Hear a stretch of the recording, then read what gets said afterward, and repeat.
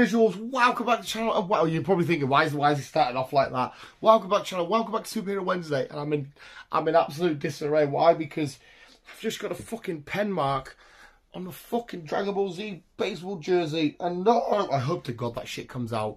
It's Sharpie. Please, Sharpie, please be so washable. I love you as a company. I love to doodle with you. Your, your pens smell great. I might be addicted to sniffing them. Hello, visuals. Welcome back to the channel. Welcome back to Superhero Wednesday. The day of the week, we talk about anything weird and wacky and nerdy and mental and crazy. And if you're a big old freaky, weird, lovely, epic nerd, then you're winning at life and you're going to enjoy the shit we talk about here. Funko Pops, game reviews, Lego stuff, and more importantly, comic book reviews. We're back with another comic book review, and this time it's for Deadly Neighborhood Spider-Man. This comic's been out for a little couple of weeks, a little couple of weeks, a few weeks now, um, but I, we've had like the Gotham Knights review and stuff to do.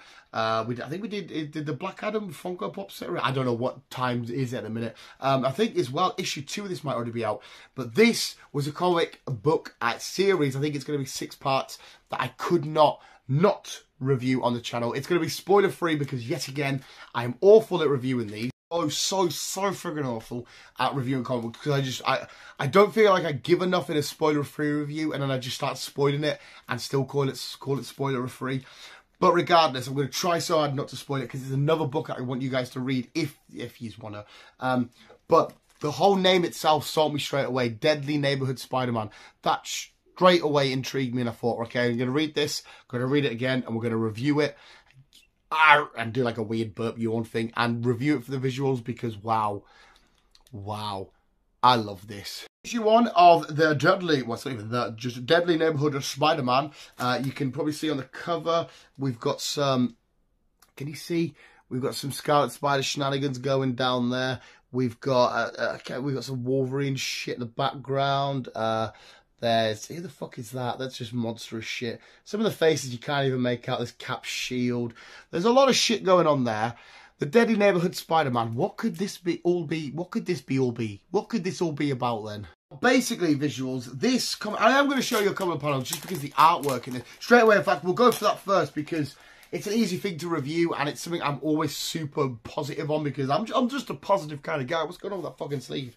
Roll down. Artwork in this, especially when we get to what I'm going to call nightmare sequences were absolutely fucking nuts. Okay, it's how the comic starts, we're going to show you. But just look at this for a version of Spider-Man. Just look at the scary eyes, the, the menacing twirls that we get, the, the scary spider symbol, the, the weird proper spider-looking sort of hand claws he's got going on. Everything about it just screams scary and fucked up and crazy and minging. And what a weird roller coaster and ride we're going to go on on this story. Um, this is we're not going into too much detail about the, the story without giving away too much. It's a somewhat battle of Peter and his mind and his his mind and psyche as both Peter Parker and Spider-Man and you know his dealings with but you could I guess you could argue sort of like Freddy Krueger. It's the whole thing about you know being in a dream and um, uh, find out, you know, is, is, this dream reality? Is it not really reality? Is it happening? Is it not happening? And all the weird shenanigans we go on with. Like, look, look at this. This is a Spider-Man comic. Just look how fucking... Obviously, I'm not going to try and reference and show too much about what's going on here. Um, loads of weird shenanigans because uh, we do know... Let me show you where have we got one. Where have we got one? Uh, we need a normal picture of Spidey from this book. Okay. Oh, just look at that. For, I, I know I said spoiler free, but look at that. Telling me that wouldn't make for a fucking beautiful poster. Just look at the claws and the eyes and the, the demonic look behind it. A spoiler before I show you normal Peter. Look at the disgustingness you get in here. Just like, look at that. Look at the... Okay, that's the only spoiler you're getting. Okay, one more look. I'm so bad at these. Um, but the, the, for the contrast between that and the whole nightmare Peter and how he sees himself to the...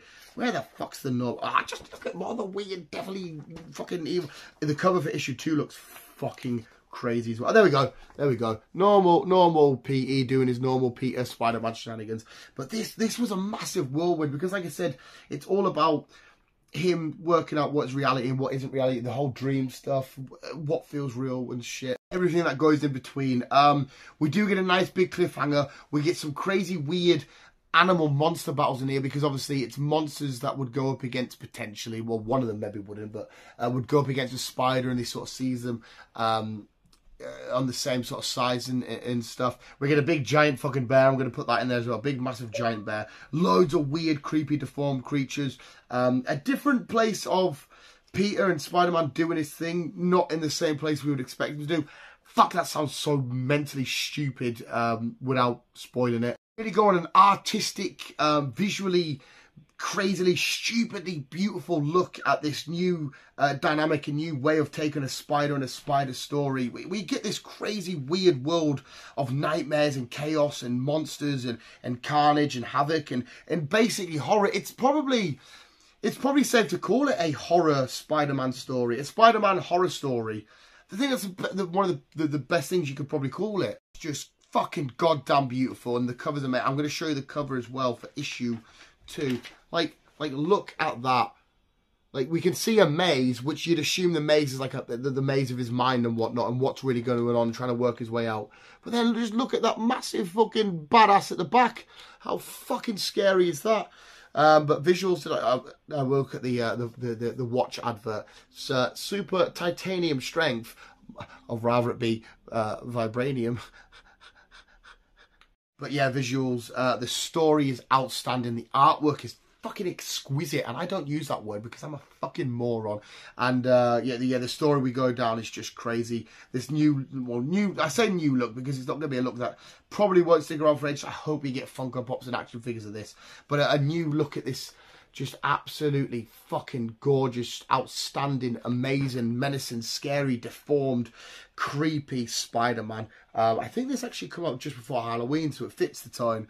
But visuals, Deadly Neighborhood Spider-Man, a billion out of 10, and I cannot wait to see what happens next. And hopefully you want a review for issue two, and please let me know how well I reviewed this book really, I really, really, really enjoy the dynamic of. We even his uh, Peter even says it. You know, he's he's fought dream related stuff before, but this one's different. You know, it feels like it's real life and all that kind of stuff.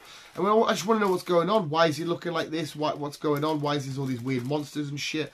What, kind of crazy mess have we have we got our poor little Peter in this time? Like, why is he always getting the shit? Yeah, visuals. Billion out of 10. Deadly Neighborhood Spider-Man, issue 1, spoiler-free review in the bag we'll be definitely be doing an issue number two. So visuals, thank you so much for watching. Thank you so much for watching. Rose, keep being you and keep on web slinging on menacing style because he's menacing, buddy, bad guy. J. Jonah Jameson was right. He's a, he's a menace.